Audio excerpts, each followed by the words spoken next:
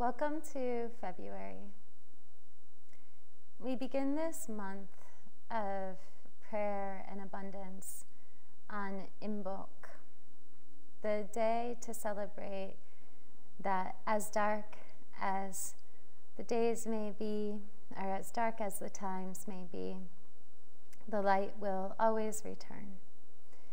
And so we begin on February 1st with Imbolc and also with the new moon in Aquarius, a feeling of the new and new beginnings beginning to seep in.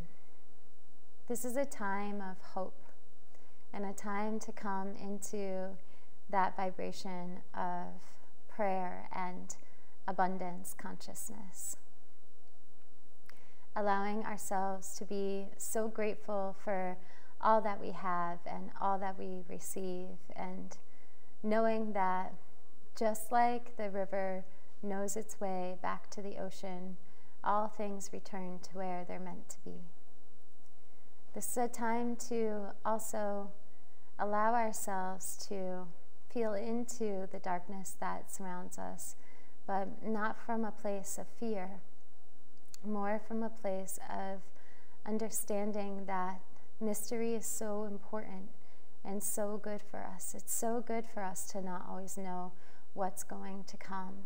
It's so good for us to have all of this darkness around us, and all that is left is the candle lit of hope for the light to return.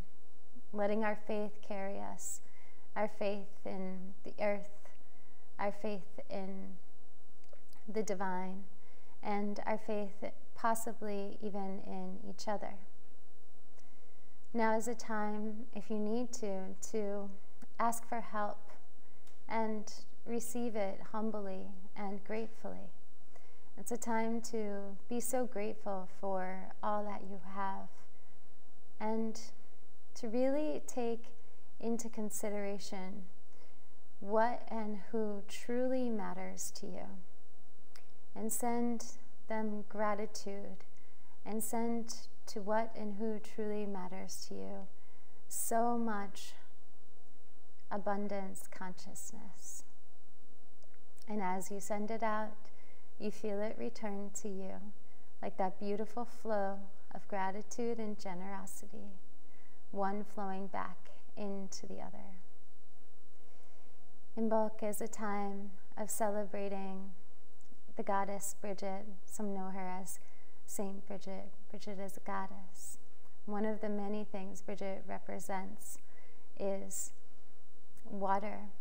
There's even a well in Ireland where on Imbolc folks go to send blessings and prayers and just to say thank you. And this beautiful combination of the elements of water and fire, Imbolc and Saint Bridget, Goddess Bridget, and the windy times of Aquarius, is helping us to come into a place of transformation, alchemy, and change.